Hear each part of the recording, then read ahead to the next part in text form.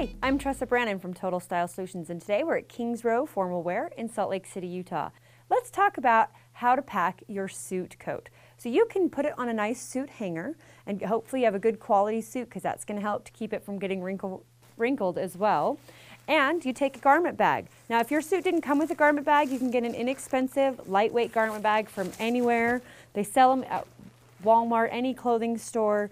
I got this one at Ikea and a whole set for like really inexpensive, but it helps to keep the wrinkles out of it. So you put it on the hanger, you shake, you take it, and you fold it up. Depending on the size of your suitcase, you can fold it in half, or if you have to, you can even fold it in thirds. And you notice how there's air and it's a little fluffy, and that helps to keep the wrinkles from getting really squished and creased in hard.